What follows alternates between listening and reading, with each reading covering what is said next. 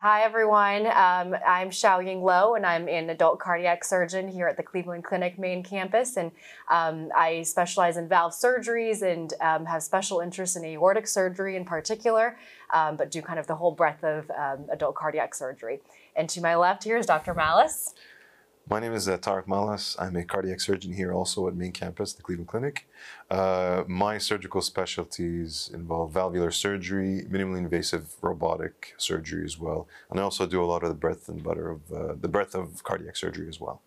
Cool. And, and today we're going to be talking about just common questions and um, clarifying kind of, you know, different uh, questions that patients have about valve surgery and the types of valves and the longevity of those valves. We look at the patient and the patient's age and all these other factors that go into consideration the valve. And, you know, earlier we talked about our choices and preferences for whether a patient um, we would prefer a tissue valve or mechanical valve for that particular patient. Ultimately, you know, it, it being uh, patient preference and a shared decision-making process that goes into the type of valve.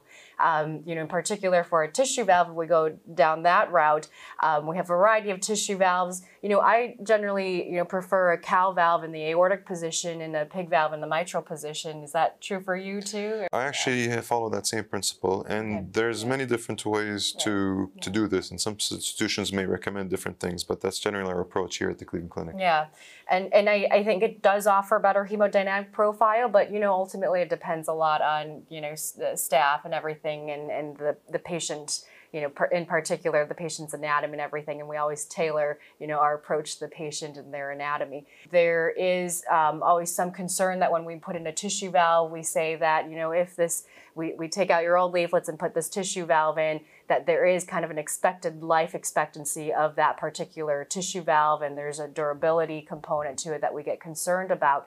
Um, and I think there are newer generation tissue valves now, and we always try to use um, you know, good valves that have really good durability profiles. And um, there's newer valves that have come out with anti-calcification technology that are, you know, incorporate that we incorporate into our valve choices as well here.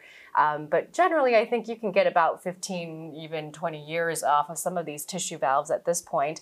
Um, and so much of the data, and especially a big bulk of the data that has been collected here at the Cleveland Clinic, has demonstrated that particularly in, in younger patients who are getting tissue valves and are worried about durability, the biggest kind of risk factor for, um, you know, that concerns durability is the pressure gradient across the tissue valve that we put in. So we assess, you know, these gradients across the valve, the pressure increase across that valve uh, that we put in in the operating room. And if we can get that gradient as low as possible, usually that's a really good prognostic factor for that valve lasting a long time. Um, and the ways to do that are to really put in the biggest size tissue valve that you know your particular anatomy um, can accommodate. Um, and there are ways that we as surgeons can do, you know, can help with that to, uh, to help accommodate a bigger size valve. And things that we do here include, you know, an annular enlargement procedure, which, you know, I explain to patients is, you know, you have a circle that the valve goes in and we can cut across that circle and so a patch to that circle and basically enlarge the dimensions of the valve that we can put in for you. And in addition, you know, we offer, particularly for the aortic valve position, um, aortic root replacements, which allow us to get, you know, a bigger size tissue valve in if that's the case as well. And I think those combination of, um, you know, adjunctive procedures allow for, you know, a great result for that tissue valve the biggest size tissue valve that we can get in and accommodate, you know, additional valves in there if you, you know, are a TAVR candidate, for instance, in the future. So Dr. Luce made some excellent points. And uh, one important point that I tell my patients is it's important to go to a center or to a surgeon that has a lot of experience in replacing, repairing valves. That can really help you know, alter your course and try to improve, alter the course of the disease and try to improve your life expectancy. And like Dr. Had said, uh, sometimes we can repair valves, and if that's an option, we can see that patients, even in the mitral aortic uh, realms, we can see that patients have a survival curve that almost matches the general population. Now, you can either repair or replace a valve, and a replacement is also an excellent option, and it does give you a good life expectancy in general. Uh, it really depends also on the type of valve. So when you go see your surgeon, it's important to have that discussion because that discussion relies heavily on your values and what you want as well. Um, like Dr. Lou had mentioned, if we look at the comparison between a valve replacement of a tissue valve versus a mechanical valve, there are some important differences that you should think about. Generally, uh, for a mechanical valve, that's the valve that's made by industry, that um, that's a valve that can last for a long time, but you do need to be on blood thinners for that type of valve. And that can have some important implications on your quality of life. Um, some patients prefer not to be on blood thinners given the inherent risk of being on a blood thinner, and that may not be necessarily the best option. The benefit of a mechanical valve is it lasts for a long time, and some of our younger patients prefer that type of valve.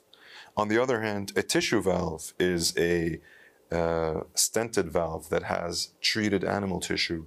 And one of the questions that my patients ask me all the time is, is this a, a pig or a cow transplant? Will I reject that valve? Uh, not re- the answer to this question is not really. This is a valve that uses animal tissue, and that animal tissue is treated so that you don't reject it. The main reason your replacement valves degenerate over time is just because of wear and tear, and um, not because your body rejects it. Some people go through their valves faster than others, and that may be related to age or certain other types of factors. But uh, in general, the tissue valves could last anywhere from 10 to 20 years, and that depends on your age. Uh, the benefit of a tissue valve is you may not necessarily need to be on blood thinners, just baby aspirin. Uh, some surgeons may put you on blood thinners for the first three months after a mitral valve replacement, but in most cases, you just need baby aspirin for life. And that will improve your quality of life from a bleeding point of view where you don't need to be on blood thinners. But that does bring forward down the line a replacement once a re-replacement once that valve deteriorates. The current guidelines really, you know, are different for the type of valve, whether the aortic valve or the mitral valve. But um, you know, the aortic valve being kind of the most common valve that we deal with um, in the cardiac surgery community. Um, you know, if you're over the age of 65, generally we are recommending moving forward with a tissue valve. Under the age of 50, a mechanical valve or a Ross procedure. Um, and in between, it's really a shared decision making process through all of this. And, um, you know, in particular with the aortic valve, um, it's de- definitely a heart team approach that we have here, which is, you know, based on our, know, our cardiologists are involved and our surgeons, you know, we are involved. And, um, and then we kind of offer these recommendations and then we look at patients' lifestyle and preferences and all of those things. Um, and I think that's a big factor. I think someone who's very active and you know potentially is at more risk of cuts and bruises because of the line of work or you know activities that they enjoy doing you know tissue valve may be a very good option um, and you know as we were saying you know earlier as long as we put in kind of the biggest tissue valve that we can for that space and try to optimize that as much as possible on our end um, you know, we get really good longevity out of that tissue valve. And then if they were to need another valve, there are additional options of a, you know, a TAVR procedure down the road or another reoperation, which we do, you know, all the time here. So. Yeah. And uh, I'd like to echo those comments as well. It's important to meet both your cardiologist and your surgeon to have that discussion, to discuss what you want, what your values are, and what you're to expect out of your surgery. Um, one other very important approach is we can also sometimes do this in a minimally invasive way. Um, that can be done through either what Dr. Lou mentioned, what we call a TAVR valve, which is a valve that's passed through the catheters, and rather than having an open heart surgery, we can sometimes do that that way. Or sometimes that can be done robotically or through a smaller incision. And those are all important discussions to have with your surgeon to see if you are a candidate.